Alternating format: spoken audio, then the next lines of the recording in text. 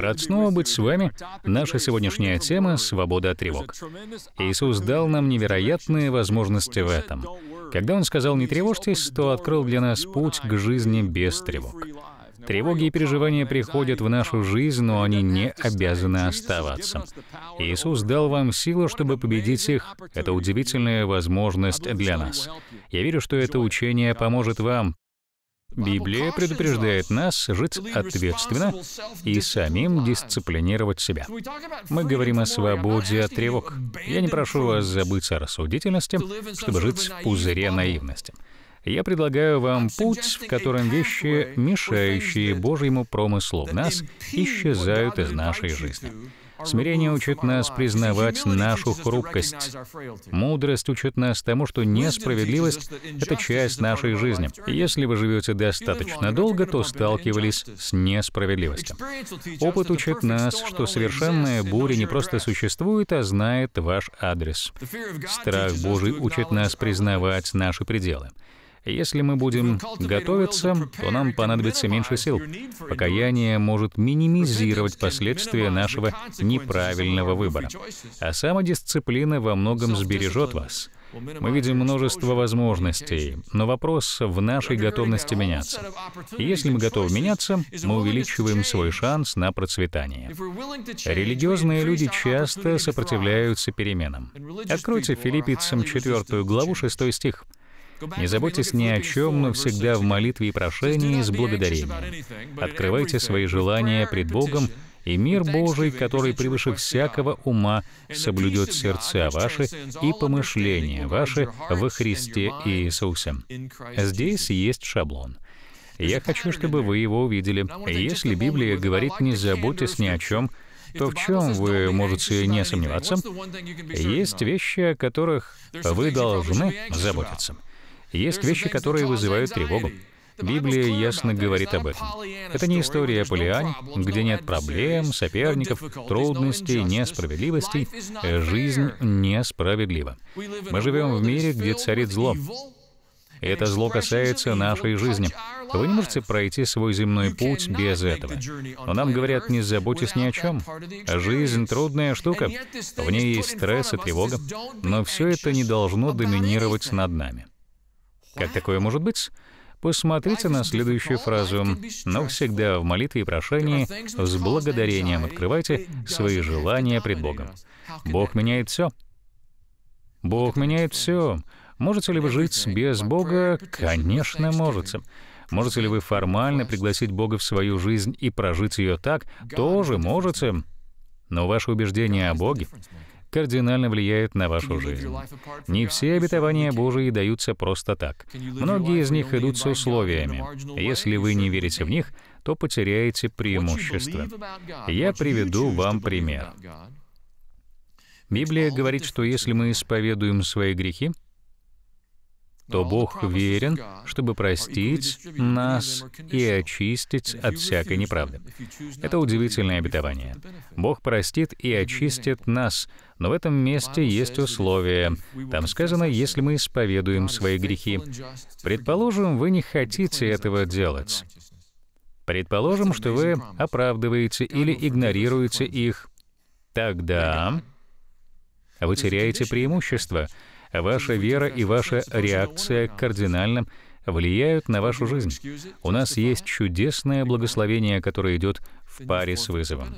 У нашего народа христианское наследие. В США начались желания почтить иудейско-христианское мировоззрение. Можно спорить о том, являемся ли мы сегодня христианской страной, но нельзя спорить, что у нас христианское наследие. Мы видим это в первых документах, на самых известных зданиях нашей страны. Места Писания высечены на камне. Наша Конституция и Биль о правах отражают нашу зависимость от всемогущего Бога и веру в то, что Иисус — Его Сын. Это наша история. Это привело к тому, что мы стали считать себя христианами по умолчанию. Я называю таких стандартными христианами. Если вы называете себя кем-то другим, Все считают, что вы христианин. Это не означает, что вы посвятили себя Иисусу или что вы планируете почтить Бога. Вы просто стандартный христианин. Это как вакцинация. И это не зло. Но это может ограничить вас. Вы должны осознать факт, что есть Бог, и что быть стандартным христианином недостаточно. Быть последователем Христа — это значит принять решение в отношении Иисуса, сделать Его Господом своей жизни. После этого мы начинаем принимать Божьи решения в своей жизни. Ваша вера в Бога меняет многое. Я привел вам список. Важно знать Его как Творца. Библия начинается с того, что вначале Бог сотворил небо и землю. Почему это важно? Потому что Он всемогущий, всезнающий. Для Бога нет ничего невозможного. Он создал все своим словом. Он создал наш шарик посреди огромной Вселенной, установил ему орбиту вокруг Солнца на расстоянии, которое позволит человеческой жизни процветать на Земле. Это наш Бог. Некоторые считают, что все это произошло случайно. Это случай шанса. Удачи. Я верю, что Бог создал небо и землю. Конечно, у вас есть право на свое мнение, но мы знаем, что Он Творец. Он также поддерживает все силой Своего Слова. Он Избавитель от бытия и до откровения. Бог вновь и вновь представляет себя как Избавителя, это важный урок для вашего портфолио, потому что мы с вами окажемся в местах, где нам понадобится Божие избавление. Кроме того, Он восстанавливает. Это даже лучше, чем Избавитель. Восстановиться — это стать новым, и даже больше, лучше, чем новым. Если что-то хорошо восстановили, то оно может выглядеть лучше, чем новое. У нас есть друзья, которые несколько лет назад купили старый дом, который они хотели восстановить. Они были в восторге. Я помню, как они позвонили и пригласили нас с Кэти заехать и посмотреть на него. Мы приехали туда на закате, а дома не было электричества. Там было страшновато. Двери и пороги скрипят. Я пытался выглядеть радостным. Пол в доме был в плохом состоянии. В некоторых местах он просел, и казалось, что можно провалиться. Они были в восторге от дома. А я помню, как шел и думал, это черная дыра. Я молился за них со страданием. У них было больше веры, чем у меня, потому что после ремонта он стал прекрасным домом. Но они не восстанавливали его. Это не был дом, который построили там изначально. Он был намного лучше. В новой версии было центральное отопление и кондиционирование, классные гаджеты в кухне — в первой версии ничего этого не было. И когда Бог восстанавливает вашу жизнь, она оказывается лучше, чем была до того, как Бог прикоснулся к ней. Это наша история. Мы не просто прощены, мы искуплены и восстановлены. Бог восстанавливает нас. Он оправдывает нас, мы становимся такими, словно никогда не грешили. Однажды каждый из нас предстанет перед всемогущим Богом в Его святости, чистоте и праведности. Как вы подготовитесь к этому? Оправдание — это дар. Вы можете стоять там в таком виде, словно никогда не грешили, если примете дар оправдания. Или можете попробовать прийти со своими силами и достижениями. И моя самая любимая характеристика — он автор нашей истории. Он автор. У автора есть определенная лицензия. Это его история. Она начинается в его сердце, его воображении. Он может писать ее, пока не получит то, что захочет. Иисус присматривает за историей моей и вашей жизни, и Он доведет ее до лучшего финала. Как мы можем не тревожиться ни о чем? Мы должны запомнить в сердце, что наш Бог меняет все. Павел продолжает в седьмом стихе. «И мир Божий, который превыше всякого ума, соблюдет сердца ваши и помышления вашим во Христе Иисусе. Интересный выбор слов. Почему ваш ум и ваше сердце нуждаются в охране? Это не случайные слова. Он говорит, мир Божий соблюдет сердца ваши и помышления.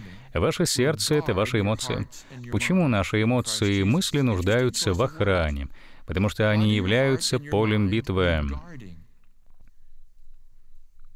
Если вы не считаете, что ваши эмоции и мысли нуждаются в охране и направлении, то вы весьма уязвимы. Если вы хотите жить с продуктивной, мирной, радостной жизнью, то вам необходимо осознавать свои эмоции и мысли. Если вы этого не делаете, я люблю свежие помидоры летом, до них осталось не так далеко, слава богу. Я люблю летние овощи, особенно помидоры из Теннесси. Я бы хотел увидеть большой урожай у себя во дворе, но они не появятся просто потому, что я сказал об этом. Я могу смотреть в окно и говорить, «Иисус, пошли помидоры». Пусть они начнут расти во имя Иисуса. Растите помидоры, давайте. Но у меня будут одуванчики и сорняки. Если я хочу помидоры, то мне нужно посадить помидоры, поливать их, пропалывать и опрыскивать их, подпирать их и молиться за них. И тогда я получу помидоры. Если вы думаете, что ваш разум и эмоции принесут нечто хорошее, мир и прочее, без ухода за ними, то это равноценно тому, если я буду стоять дома и желать, чтобы у меня во дворе выросли помидоры. Мы прочитаем с вами Исаию, 35 главу. Там сказано «Укрепите ослабевшие руки». На иврите это «истощенные руки», и утвердите колени дрожащие, скажите робким душою, будьте тверды, не бойтесь, вот Бог ваш придет. И отомщение придет воздаяние Божие. Он придет и спасет вас. Этот стих цитируют в Новом Завете в послании к евреям. Теперь посмотрите со мной то самое послание к евреям, 12 главу.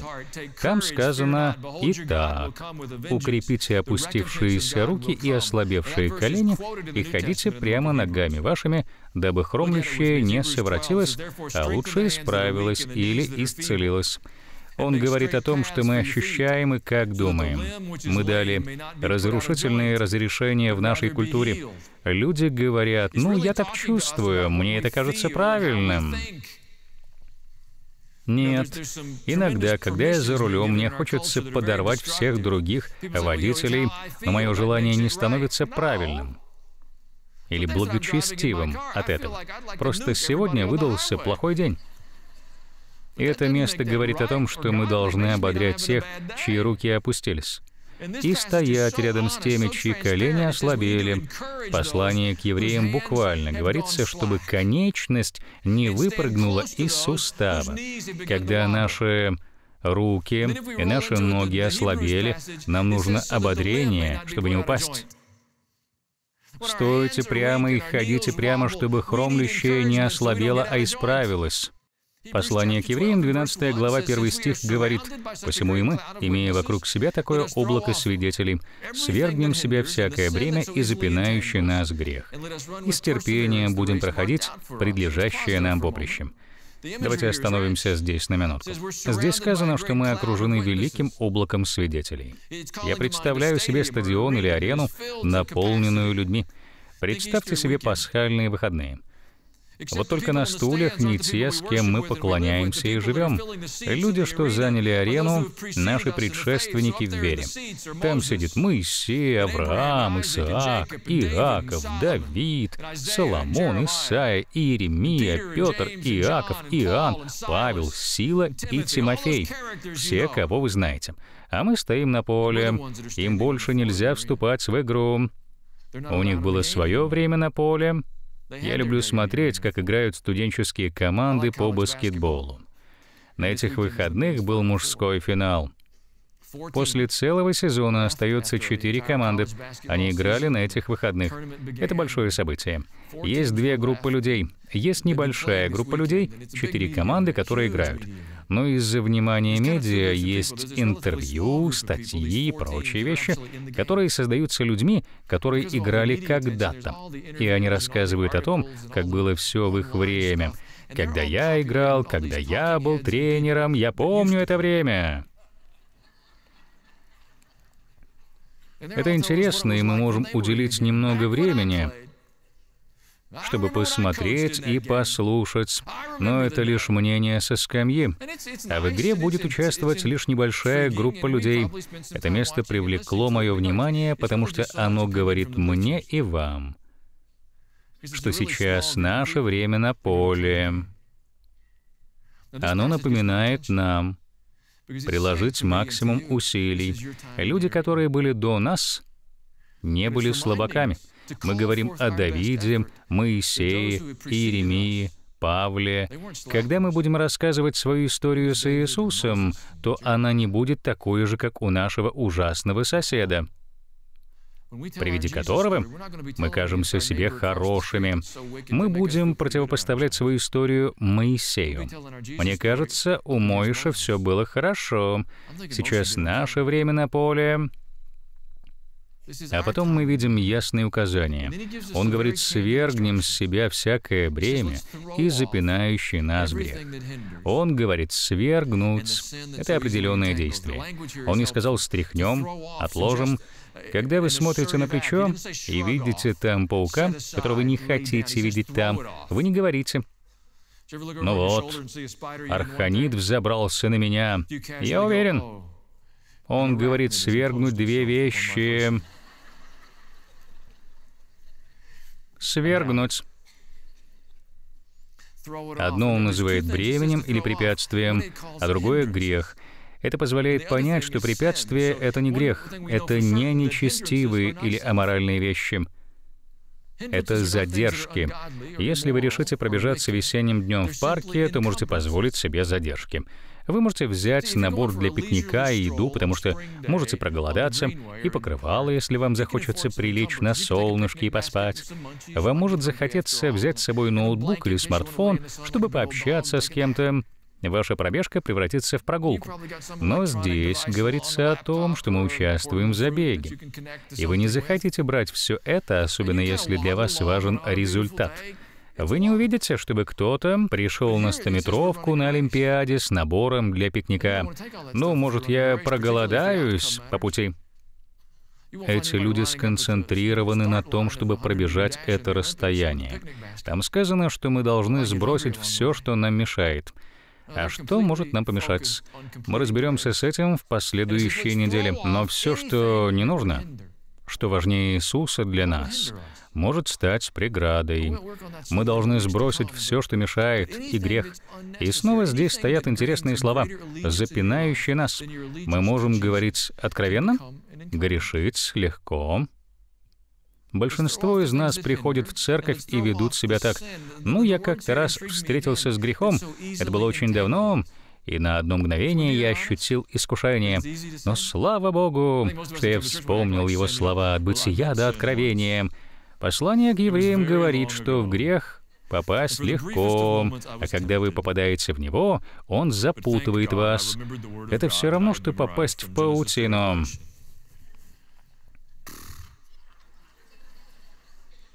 Вы не видели ее, когда шли к ней. Но когда вы вошли в нее, и она прилипла к вашему лицу, и что-то побежало по шее, то даже пару часов спустя вы ощущаете что-то.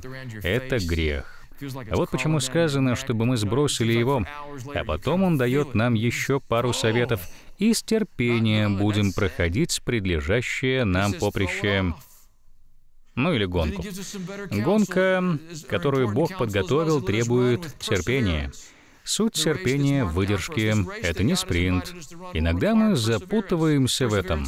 Это не забег на 40 или 100 метров. В каждый сезон нашей жизни мы должны принимать верные решения. Мы придумываем богословие, чтобы обойти это.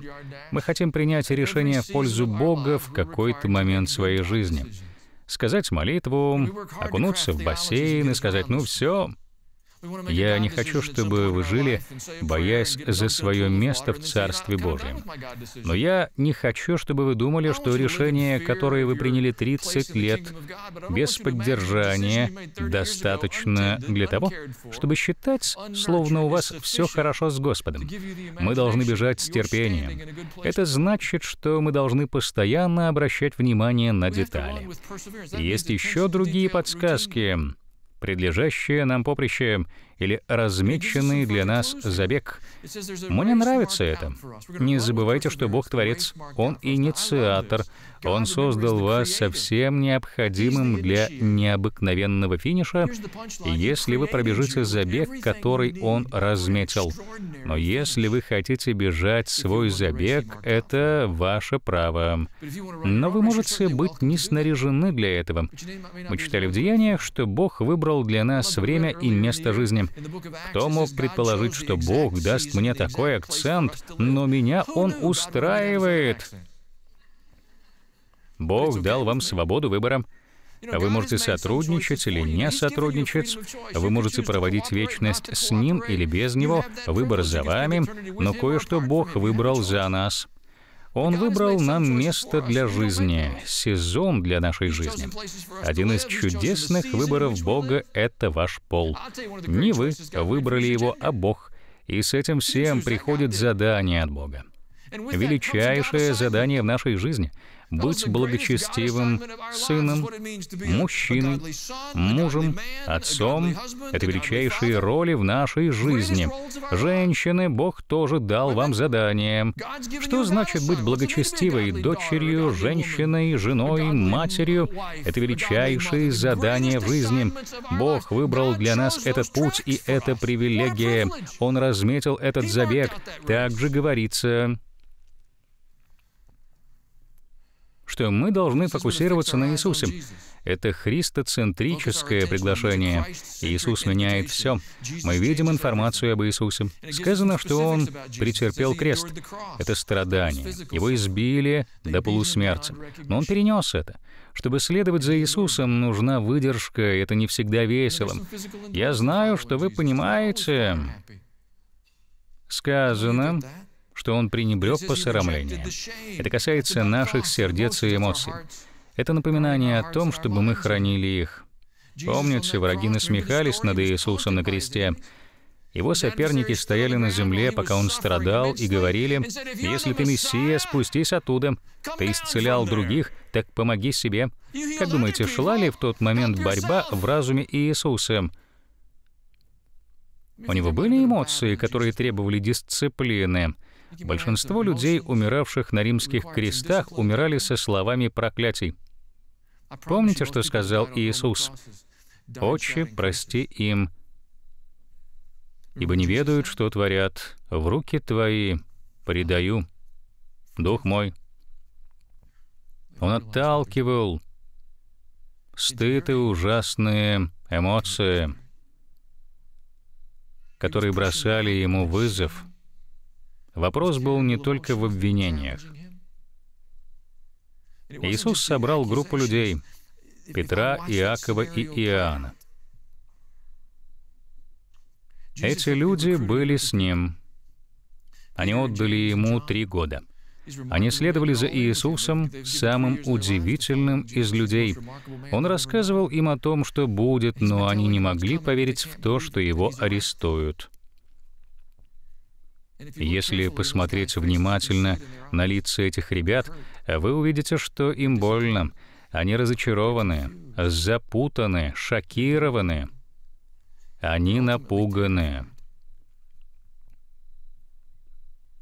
Это влияло на эмоции Иисуса. Он вел их, выбрал их, обучил. Люди, которые были ближе всего к Нему, были в шоке. Нужно следить за тем, чтобы хранить свое сердце и разум, чтобы пройти такую ситуацию. Он отвергал стыд. А затем сказано, помыслите о претерпевшем такое над собою поругание от грешников. Он победил оппозицию.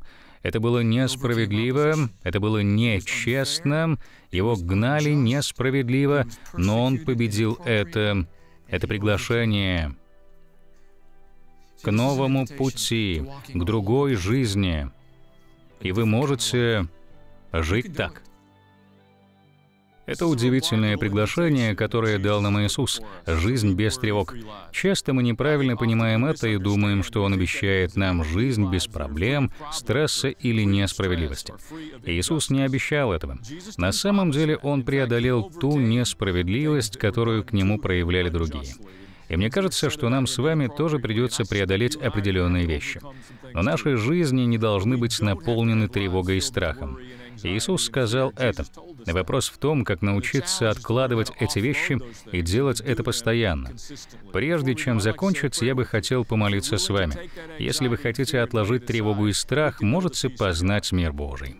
Отче, спасибо Тебе за обетование и указания, которые нам дал Иисус. Сегодня мы возлагаем эти заботы на Тебя. Мы верим, что Ты принесешь справедливость, свободу, мир и надежду нам во имя Иисуса. Не отказывайтесь от своей свободы. Благословение вам. Давайте вместе читать по плану Библию за год.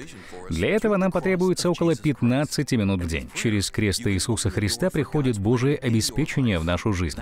С помощью молитвы вы можете открыть дверь для осуществления Божьего плана в вашей жизни — в ответ на вашу поддержку нашему служению и чтобы поддержать вас в познании Бога, мы хотим выслать вам в качестве подарка книгу молитв пастора Аллена «Через крест.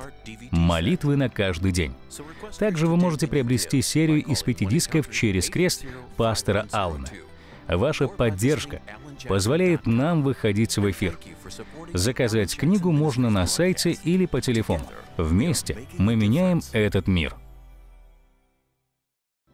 Смотрите каждую неделю нашу программу с пастором Алленом Джексоном, а также заходите на наш веб-сайт, где вы можете найти прекрасные ресурсы, которые помогут вам подняться на новый уровень вашей христианской жизни. Мы также просим вас подумать о том, чтобы поддержать нас в распространении этого послания по всему миру.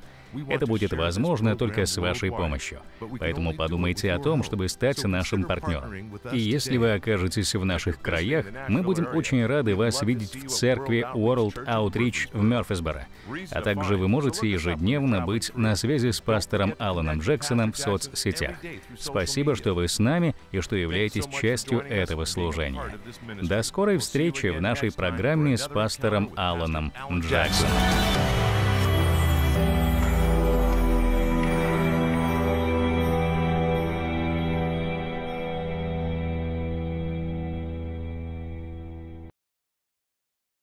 Давайте вместе читать по плану Библию за год. Для этого нам потребуется около 15 минут в день. Через крест Иисуса Христа приходит Божие обеспечение в нашу жизнь. С помощью молитвы вы можете открыть дверь для осуществления Божьего плана в вашей жизни — в ответ на вашу поддержку нашему служению и чтобы поддержать вас в познании Бога, мы хотим выслать вам в качестве подарка книгу молитв пастора Аллена «Через крест. Молитвы на каждый день». Также вы можете приобрести серию из пяти дисков «Через крест» пастора Аллена. Ваша поддержка позволяет нам выходить в эфир. Заказать книгу можно на сайте или по телефону. Вместе мы меняем этот мир.